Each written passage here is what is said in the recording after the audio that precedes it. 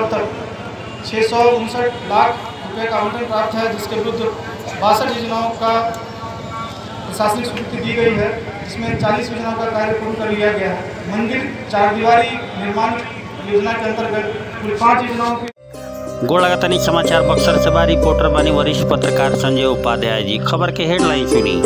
जिला भर में स्वतंत्रता दिवस समारोह उत्सवपूर्ण माहौल में मनावल गई मुख्य समारोह किला मैदान में भइल आयोजित। एजा जिलाधिकारी अमन समीर राष्ट्रीय ध्वज के फहरैनी अपना संबोधन में वहाँ के कहनी कि पहला प्रणाम हो शहीद के, जिनका वजह से हमनी के राष्ट्रीय पर्व मनावतानी है। आप सबके पचहत्तरवा स्वतंत्रता दिवस के शुभकामना। जिला लगातार प्रगति कर रहल बा, हर क्षेत्र में विकास के क्रम जारी बा।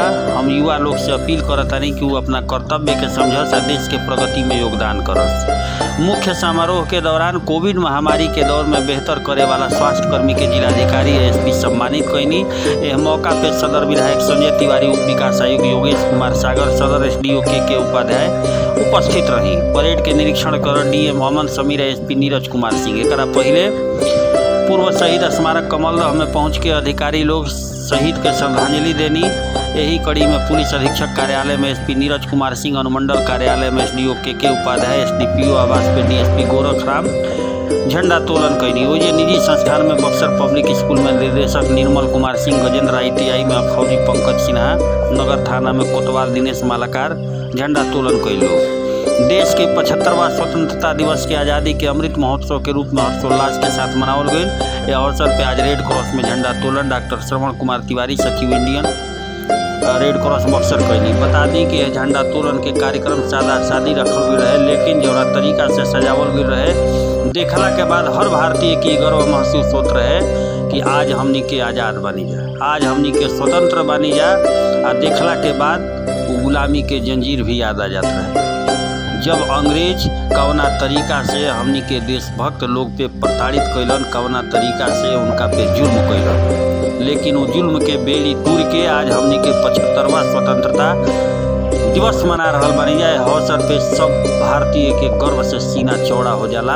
कहत कि आज हमनी के स्वतंत्र हो गई बनी। जा स्वतंत्रता दिवस के झंडा तोलन करत यही मौका पे जिलाधिकारी अमन समीर साहब साथे साथ स्वास्थ्यकर्मी लोग के भी पुरस्कृत कल गई हर कई जगह वृक्ष भी लगावल गई इस सारा दृश्य भोजपुरिया समाचार के कैमरा में कैद भइल भोजपुरिया समाचार सुनाई कि डीएम साहब का कहतानी ये स्वतंत्रता दिवस के कैसे शुभकामना देनी? सब कुछ भोजपुरिया समाचार दिखाई बस रउरा सबसे भोजपुरिया समाचार एक चीज़ निहोरा करला। कि खबर देखी या देखला के बाद खबर के रोकी मत। दबा के लाइक करी सब्सक्राइब चैनल के नहीं कैले तो बेल आइकन के बटन दबा के सब्सक्राइब कर ली खबर के अधिक से अधिक शेयर कर ताकि देश ना विदेश तक भोजपुरी आ भोजपुरिया समाचार के धमक बरकरार रहे। स्वतंत्रता दिवस के सब कोई के बीतल स्वतंत्रता दिवस के भोजपुरिया तरफ़ से भोजपुरिया टीम के तरफ़ से बहुत बहुत शुभकामना। बटुए राउर सारा भोजपुरिया दर्शक लोग के सुनी बयान। पचहत्तरवें स्वतंत्रता दिवस के अवसर पर जिला प्रशासन की ओर से सभी बक्सरवासियों को बहुत शुभकामनाएँ। हम लोगों का संकल्प यही है कि बक्सर को हम लोग नई ऊंचाइयों तक लेके जाएँगे। उसमें हम लोगों का प्रयास ये रहेगा कि सभी लोगों का उसमें पार्टिसिपेशन हो सभी लोग उसमें सहभागी बने। और हम लोग का प्रयास यही रहेगा खासकर जो युवाओं हैं युवाओं से हम लोगों का अनुरोध रहेगा कि जो भी उनके इंडिपेंडेंस जो वो मनाते हैं तो इंडिपेंडेंस के साथ जो एक, एक कर्तव्य होती है तो कर्तव्य को भी वो पहचाने और उस कर्तव्य को पहचानते हुए देश की प्रगति में अपना हाथ दें। सर एक सवाल है बाढ़ की क्या है? बाढ़ की जो स्थिति है अभी वर्तमान में जो है वो खतरे के निशान से हम लोग अभी भी लगभग सत्तर सेंटीमीटर ऊपर बह रहे हैं। लेकिन जो है वो हम लोग ट्रेंड जो है हम लोगों का डाउनफॉल है। तो हम लोग ये आशा कर रहे हैं कि कल जो है वो दोपहर तक स्थिति जो है और सामान्य हो जाएगी। और 48 घंटे के अंदर हम लोगों का अनुमान है कि वो खतरे के निशान से हम लोग नीचे चले जाएँगे। राहत को लेकर राहत को लेकर जो है हम लोगों का विभिन्न प्रखंडों में जो है पशु चारा की व्यवस्था है जो पॉलीथीन सीट्स वितरण किए गए हैं। साथ साथ जो है कम्युनिटी किचन भी हम लोगों का चल रहा है जैसे सिमरी में सात चौसा में एक चक्की में एक ब्रह्मपुर में एक। तो ये कम्युनिटी किचन हम लोग चला रहे हैं। उसके अलावा जो है बोट एंबुलेंस के माध्यम से हम लोग टीकाकरण का भी अभियान हम लोग शुरू किए हैं, जिसमें वैसे लोग जो छूट चुके हैं, जो खासकर दियर एरिया के लोग हैं, उन लोगों को हम लोग जो टीकाकरण का हम लोग प्रयास कर रहे हैं बोट के माध्यम से।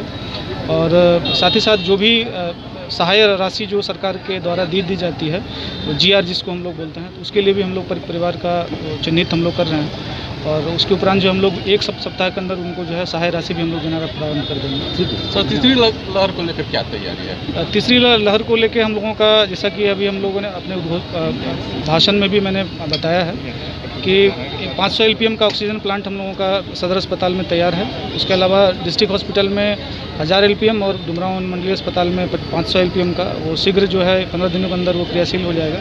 अपने ज़िले में आर आरटीपीसीआर के टेस्टिंग है तो पहले हम लोगों को पटना भेजना पड़ता था। अब एक एक एक सप्ताह के अंतर्गत हम लोगों का जो आरटीपीसीआर लैब है, वो भी हम लोगों का क्रियाशील हो जाएगा। उसके अतिरिक्त जो है 20 बच्चों के लिए हम लोग जो है, अलग से एक आईसीयू का हम लोग निर्माण कराने का तैयारी कर रहे हैं। और रेगुलर रूप से हम लोगों का टेस्टिंग जो है, हम लोगों का जारी है।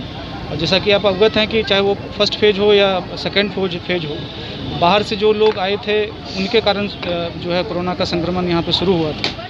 उस चीज़ को देखते हुए हम लोग जो है स्टेशन पे अभी भी हम लोगों की टेस्टिंग रहती है। प्रतिदिन एवरेज 700 टेस्टिंग हम लोग कर रहे हैं। और हम लोगों का यही अपील है कि अभी भी हम लोग ये देख रहे हैं, क्षेत्र भ्रमण में, इनफैक्ट यहाँ पे जो भी युवाएँ, युवाओं जो है कार्यक्रम में सम्मिलित हुए हैं। मास्क का उपयोग कम कर रहे हैं जो भी सामाजिक दूरी का उपयोग करना चाहिए, वो नहीं कर रहे हैं। आप लोगों के माध्यम से सभी से पुनः अपील है कि ये थर्ड वेव अभी अगर आता है तो उसमें जो है हमारी जो सावधानी है, वही हम लोगों को बचाएगी। सर, एक सवाल है, ब्रह्मपुर में जो महादलित लोग हैं